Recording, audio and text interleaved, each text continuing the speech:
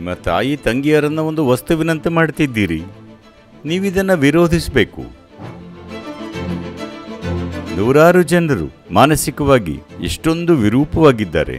ಇದು ನೈತಿಕ ವಿಷಯ ಅಲ್ಲ, ಮಾನಸಿಕ ಸ್ವಾಸ್ಥ್ಯದ ವಿಷಯ. ಮಹಿಳೆಯರು ಕೂಡ ಅದನ್ನು ನೋಡಬೇಕು ಅನ್ನೋಕೆ ಶುರು ಮಾಡಿದರೆ ಅತ್ಯಂತ ಮೂರ್ಖ ಸಂಗತಿಯನ್ನು ಮಾಡ್ತಿದ್ದೀರಿ. ಅಲ್ಲಿರೋ ಮಹಿಳೆ ಜಾಗದಲ್ಲಿ ನಿಮ್ಮ ತಾಯಿನ ಊಹಿಸಿಕೊಳ್ಳಿ, ಆಗ ಅರ್ಥ ಆಗುತ್ತೆ.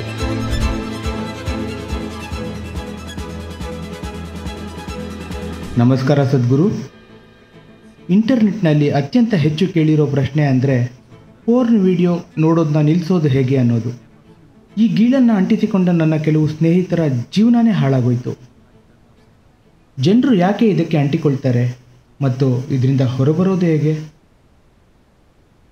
ನೋಡಿ, ಅಶ್ಲೀಲ ವಿಡಿಯೋಗಳು ಅಥವಾ ಪೋರ್ನೋಗ್ರಫಿ ಅಂದರೆ ಲೈಂಗಿಕತೆ ಅಲ್ಲ. ಇದು ನೀವು ಬೆಳೆಸ್ಕೊಳ್ತಿರೋ ಒಂದು ರೋಗ. ರೋಗ ಅಂದಾಗ ಲೈಂಗಿಕತೆ ಒಂದು ರೋಗ ಅಲ್ಲ. ಅದು ನಮ್ಮ ಹುಟ್ಟಿಗೆ ಕಾರಣವಾಗಿದ್ದು. ನಾವಿಲ್ಲಿರೋದು ಅದರಿಂದಲೇ.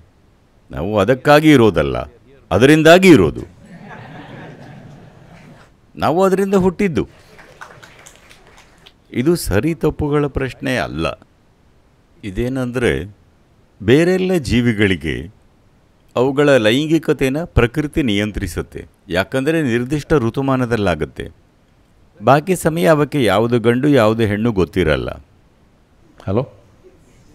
ಅಂದರೆ ಪ್ರಕೃತಿ ನಿಯಂತ್ರಿಸುತ್ತೆ.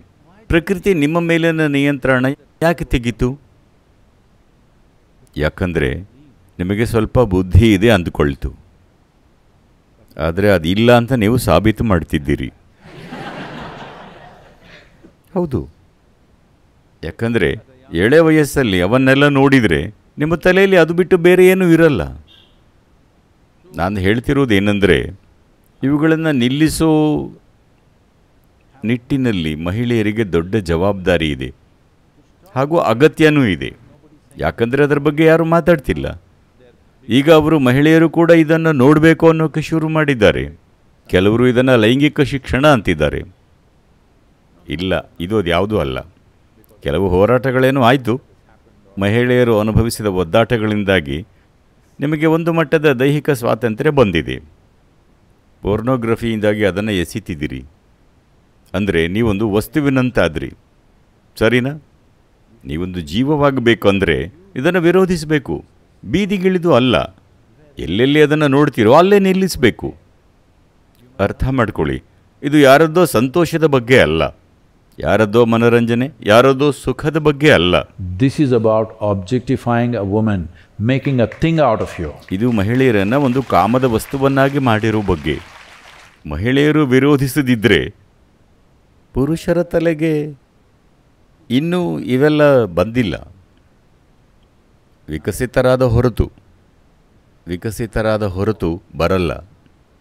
ನಾನು ನೂರಾರು ಜನರನ್ನು ನೋಡಿದ್ದೀನಿ. ಚಿಕ್ಕ ವಯಸ್ಸಲ್ಲಿ. ಈ ಗೀಳು ಹಚ್ಕೊಂಡು ಮಾನಸಿಕವಾಗಿ ಎಷ್ಟು ವಿರೂಪಗೊಂಡರು, ಮುಂದೆ ಜನರ ಜೊತೆ ಒಂದು ಅರ್ಥಬದ್ಧ ಸಂಬಂಧ ಹೊಂದೋಕೆ ತಮ್ಮೊಳಗೆ ಹೇಗೆ ನರಳಿದ್ರು ಅಂತ. ಎಷ್ಟು ರೋಗಗ್ರಸ್ತರಾದರು.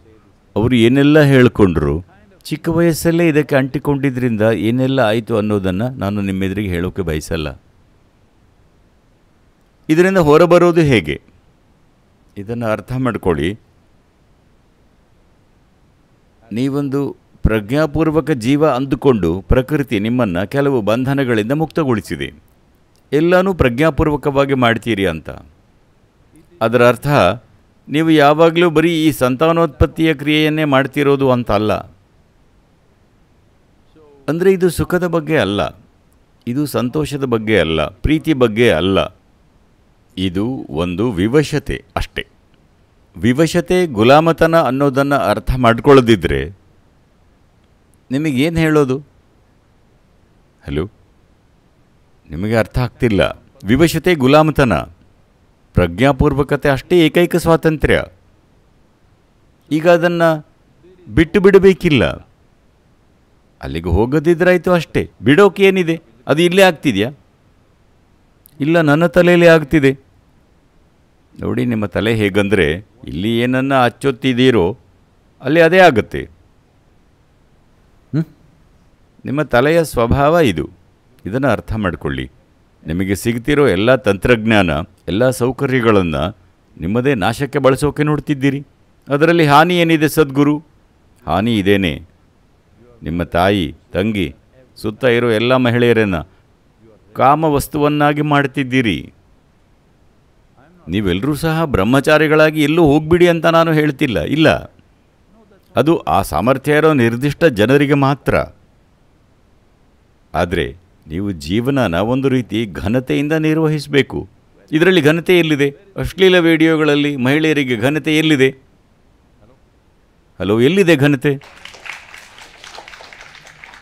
ಈಗ ನೀವು ಜಗತ್ತಿನ ಅರ್ಧ ಪಾಲು ಜನತೆಗೆ ಆ ಘನತೆಯನ್ನು ನಿರಾಕರಿಸಿ ಸುಖವನ್ನು ಪಡಿಬಹುದು ಅಂತ ಅಂದ್ಕೊಂಡಿದ್ದೀರಾ ಅಸಹ್ಯ. ಇದು ನೈತಿಕ ವಿಷಯ ಅಲ್ಲ. ಇದು ಮಾನಸಿಕ ರೋಗದ ವಿಷಯ. ತಿಳಿತಾ? ಇದು ಮಾನಸಿಕ ಸ್ವಾಸ್ಥ್ಯದ ವಿಷಯ. ಇದು ನೈತಿಕತೆ ಅಲ್ಲ. ಮಾನಸಿಕವಾಗಿ ರೋಗಿಗಳಾಗ್ತಿದ್ದೀರಿ.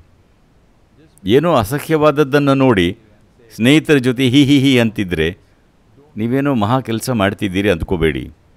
ನೀವು ಅತ್ಯಂತ ಮೂರ್ಖ ಸಂಗತಿಯನ್ನು ಮಾಡ್ತಿದ್ದೀರಿ.